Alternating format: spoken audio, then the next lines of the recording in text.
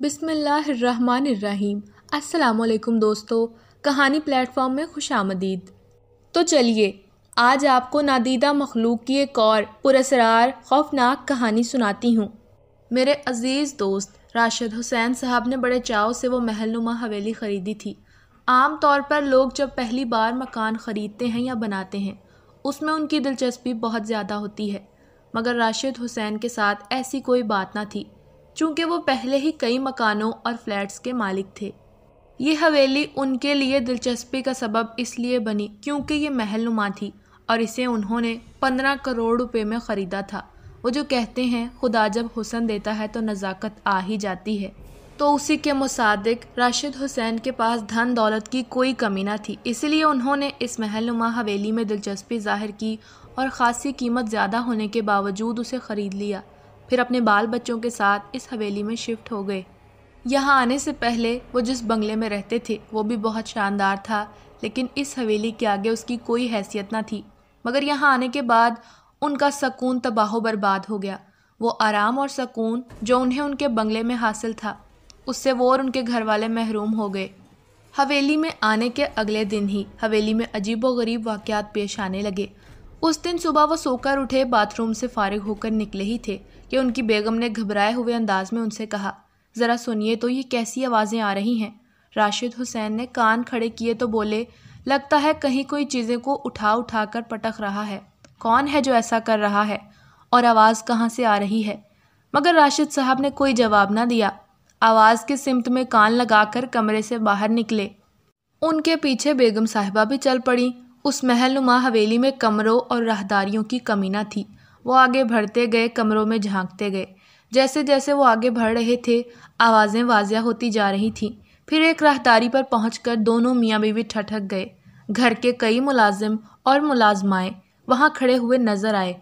क्या बात है, बेगम साहिबा ने मुखातिब किया। बेगम साहब इस कमरे में एक मुलाजमा ने उनके करीब आकर कमरे की तरफ़ इशारा किया। अरे भाई, क्या है इस कमरे में? मुँह से कुछ फूटो तो सही, मगर मुलाजमा के कुछ कहने से पहले राशिद हुसैन उस कमरे में दाखिल हो गए। लेकिन अल्लाह ने उन्हें बचा लिया, वरना उनका सर उस वक़्त उस गुलदान से लहू लहान हो चुका होता, जो उनके सर का निशाना लेकर उन पर फेंका गया था। इस अचानक हमले से वो इस कदर हैरान न हुए थे, जितना ये देखकर परेशान हो गए कि गुलदान फेंकने वाला कोई और नहीं, उनका दुलारा बेटा साजिद है। अरे बेटा, तुम ये क्या कर रहे हो? उन्होंने कमरे पर नज़र डालते हुए कहा, कमरे में टूटी हुई चीज़ों का ढेर लगा हुआ था। बेटे ने कोई जवाब देने की बजाय दीवार पर आवेजा, एक पेंटिंग का फ्रेम उतार कर उनकी तरफ़ उछाल दिया। उस वक़्त वो मोहतात थे, इसीलिए बच गए। बेगम ने उनका बाजू पकड़कर खींचा। चलिए यहाँ से, और मुलाजिम से कहा, कमरे का दरवाज़ा बंद कर दो, ताकि इसकी तोड़ फोड़ के नतीजे में बाहर किसी को कोई नुकसान ना पहुँचे। अरे बेगम, ये साजिद मियाँ को क्या हो गया है? उन्होंने वापस आते हुए बेगम से पूछा, अल्लाह जाने इस पर यह कैसा दौरा पड़ गया है? कहीं बहनों से तो इसका झगड़ा नहीं हुआ? चलो उनसे पूछते हैं कि किसने उसे छेड़ा है। दोनों अपने कमरे में जाने की बजाय बच्चों के कमरों की तरफ़ चल दिए। बच्चों के कमरे एक ही कतार में थे। अरे, कमरे में नज़र पड़ते ही राशिद हुसैन हैरत से बोले, साजिद तो खुद भी यहाँ सो रहा है। अगर ये यहाँ मौजूद है तो वहाँ उस कमरे में कौन तोड़ फोड़ कर रहा है? राशिद हुसैन के पास बीवी के सवाल का कोई जवाब न था। वो दोनों खुद हैरान और परेशान थे। आखिर ये क्या तमाशा है? दोनों फिर उस कमरे तक आए, जहाँ ये सब कुछ हुआ था। कमरे का दरवाज़ा बंद था, अंदर से अभी भी तोड़ने फोड़ने की आवाज़ें आ रही थीं। उसका मतलब तो यही हो सकता है कि वो कोई जिन भूत है, जो हमारे बच्चे की शक्ल में हमें परेशान कर रहा है। राशिद हुसैन ने बेगम की बात का कोई जवाब ना दिया। वो किसी गहरी सोच में मुबतला थे। आपने ये हवेली ख़रीदते वक्त इसके बारे में छानबीन नहीं की थी। अरे भाई, की थी? ये हवेली खलीजी रियासत के एक शेख ने बनवाई थी। कुछ अरसे बाद इसे किसी के हाथ बेच दिया। उसके बाद कई दीगर लोगों तक होते हुए मैंने इसे ख़रीद लिया। मेरे सवाल का मतलब इस हवेली के मालिकों का शजरा नसब मालूम करना नहीं है। बेगम, फिर क्या मतलब है तुम्हारा? मतलब ये है कि आपने लोगों से ये ना पूछा कि हवेली बनाने वाले ने इसे क्यों बेचा? ये तो मैंने नहीं पूछा, अलबत्ता, उन्होंने सोचते हुए कहा। जब मैं यहाँ इस हवेली की ख़रीदारी के सिलसिले में आ जा रहा था तो आस पड़ोस के कुछ लोगों ने मुझसे कहा था, ये हवेली ना ख़रीदें। मैंने उनसे वजह पूछी तो बोले, ये हवेली आसेब ज़दा है। इसमें मौजूद जिन भूतों की वजह से यहाँ कोई टिक कर नहीं रह सकता। तो इसके बावजूद आपने ये हवेली ख़रीद ली और इन बातों का मुझसे कोई तस्करा भी नहीं किया। कलसूम बेगम, मुझे जिन भूतों की बातों पर यकीन नहीं ये कमज़ोर एतक़ाद के लोगों के मफरूज़े हैं। इसलिए मैंने लोगों के कहने पर कोई तवज्जो ना दी। मगर अब आगे वो कुछ ना बोले। खामोश रहे। बेगम समझ गई कि अब वो पछता रहे हैं। उस रोज़ रात का खाना खाने के बाद बेगम ने बच्चों से कहा, तुम लोग सोने से पहले कमरा अंदर से बंद कर लिया करो। बच्चों ने माँ की हदायत पर अमल किया। उन्होंने खुद सोने से पहले सारे बच्चों के कमरे के दरवाज़ों को अच्छी तरह चेक कर लिया। सबने दरवाजे बंद कर लिए थे। इत्मीनान कर लेने के बाद वो अपने कमरे में आई, खुद भी कमरा अंदर से लॉक कर लिया। सुबह घर में जैसे कहकहों का तूफ़ान आ गया था। कहकहों की आवाज़ें बच्चों के कमरे की तरफ़ से आ रही थीं। दोनों मियाँ बीवी आवाज़ के सिमत भागे। ये देखकर उनकी हैरानगी में मज़ीद इजाफा हो गया। सारे बहन भाई एक दूसरे को देखकर दीवानों की तरह हंस रहे हैं। हंसने की बात ही थी, सब कार्टून बने हुए थे। कलसूम बेगम अपने कमरे में जाकर इस सोच और फ़िक्र में मुबतला हो गई। कि जिन भूतों की ये वारदात तो हँसी मज़ाक में बर्दाश्त कर ली गई, लेकिन कल कला को वो कोई ख़तरनाक कदम भी उठा सकते हैं। अभी वो ये सोच ही रही थी कि एक मुलाजिम के चीखने चिल्लाने की आवाज़ आई, बेगम साहबा, मुझे बचाइए। वो भागी हुई आवाज़ की सिमत गई तो देखा, उनका अपना बेटा शाहिद अब्दुल की बुरी तरह पिटाई कर रहा है। वो ये देखकर हैरान परेशान रह गई कि दस साल का शाहिद पच्चीस तीस साल के अब्दुल को हाथों, घूसों और लातों से बुरी तरह मार रहा था। इतने से बच्चे शाहिद में ये ताकत कहाँ से आ गई? उन्होंने अपने बेटे को डांटा, शाहिद, ये क्या बदतमीज़ी है? क्यों इसे मार रहे हो? शाहिद ने कोई जवाब ना दिया, लेकिन अपनी लाल लाल आँखों से उन्हें यूँ घूर कर देखा कि वो सर से पैर तक लर्ज कर रह गईं। वो वहाँ मज़ीद ना रुकी। जाते वक्त उन्होंने शाहिद के कमरे में यूँ ही झांका और ये देखकर ठटक गईं कि शाहिद अपने कमरे में स्कूल जाने की तैयारी कर रहा था। उसके बाद तकरीबन एक हफ़्ते तक मज़ीद कोई पुरसरार वाक़ रूनमाना हुआ। बेगम ने यही सोचा कि वो जो अब हर वक्त दुआ दरूद पढ़ती रहती हैं, शायद उसी के असर से जिन भूत खामोश हो गए हैं। लेकिन तीसरे दिन राशिद हुसैन को उनके मोबाइल पर उनके बड़े बेटे माजिद के हेडमास्टर का पैगाम आया। राशिद साहब, माफ़ी चाहता हूँ कि आपको फौरी स्कूल आने पर मजबूर कर रहा हूँ। खैरियत तो है। जी नहीं, खैरियत ही तो नहीं है। राशिद हुसैन और घबरा गए। सारे काम काज छोड़कर स्कूल जा पहुँचे। स्कूल में सबके चेहरों से अजीब टेंशन का पता चल रहा था। वो ये समझ रहे थे कि उनका बेटा किसी हादसे का शिकार हो गया है। मगर वहाँ पहुँच मालूम हुआ, उनके बेटे ने एक लेडी टीचर पर मुजरिमाना हमला किया है। इस इतला पर वो यकदम चकरा कर रह गए। मगर जनाब, ये कैसे हो सकता है? अभी उसकी उम्र ही क्या है? और फिर ये सब कुछ कैसे हो गया? वो भी भरी क्लास में।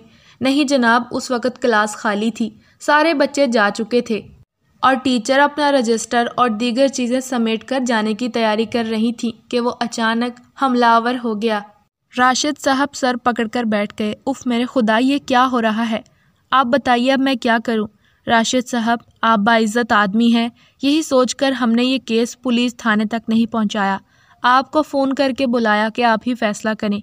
मैं क्या फ़ैसला करूँ? मेरी तो खोपड़ी ही उलट कर रह गई है। ये कहते हुए उन्होंने अपने मोबाइल पर घर रबता किया।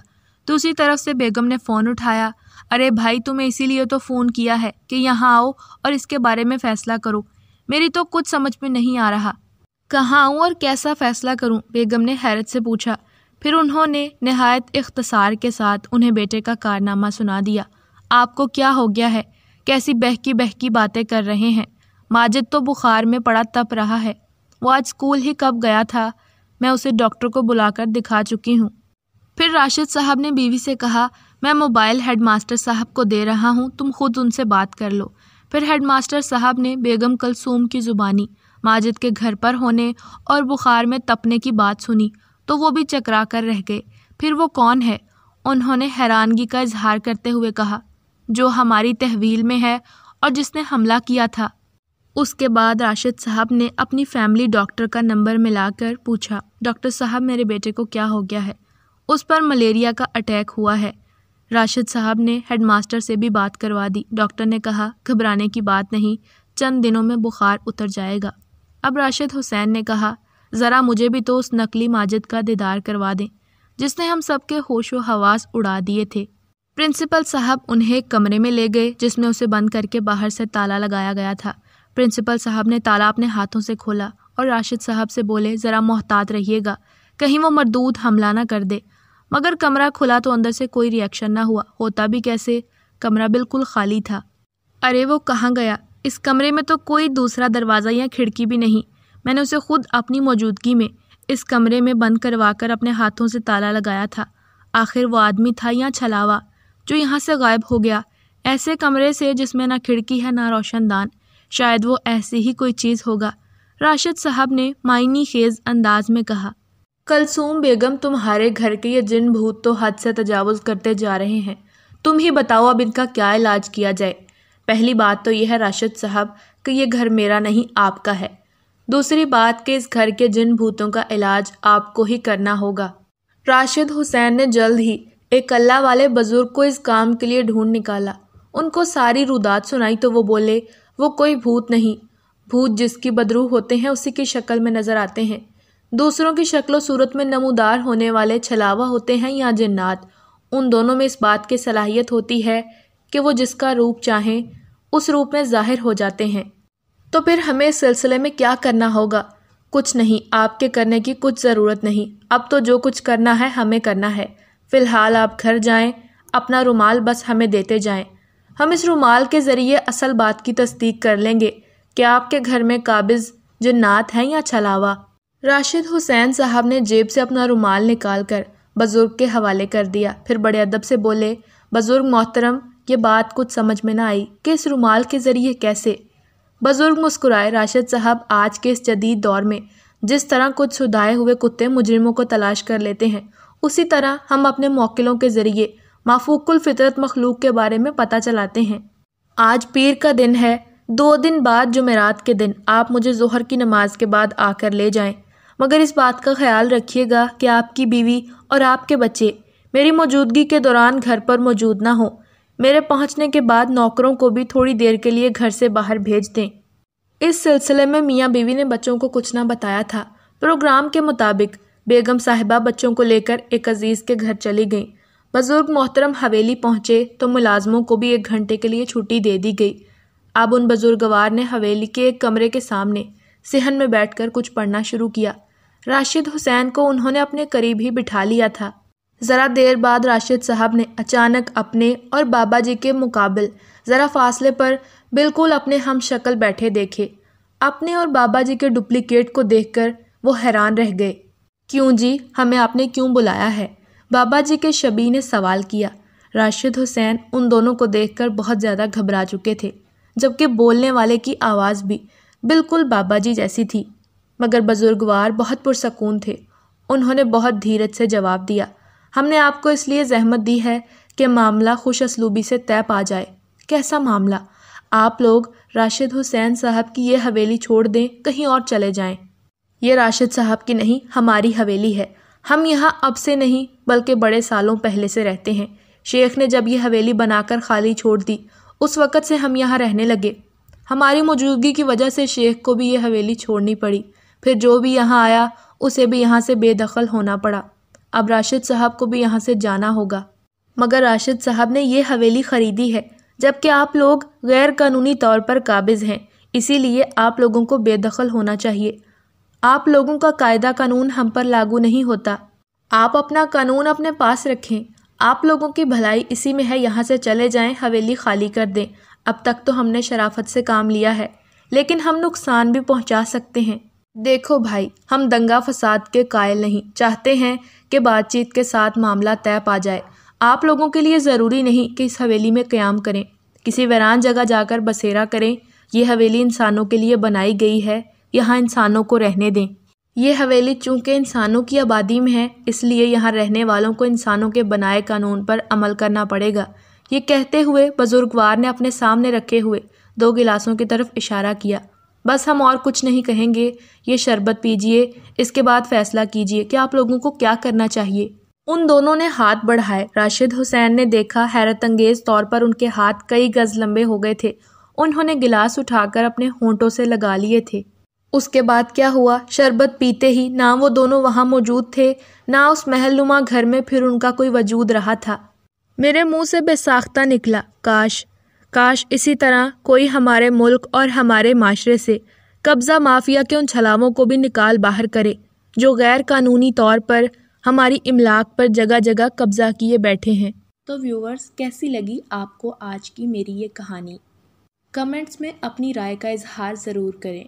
मज़ीद खौफनाक और सबक आमोज़ कहानियों के लिए मेरे चैनल को सब्सक्राइब करना ना भूलें।